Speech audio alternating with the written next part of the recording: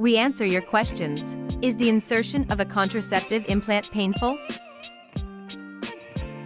The implant is about the size of a thin matchstick, and people have it inserted under the skin of the inner side of the upper arm. The procedure takes only a couple of minutes and is done by a trained doctor. Local anesthesia is used, so there should be very little pain. There might be a bit of bruising or soreness afterwards. Do you have more questions?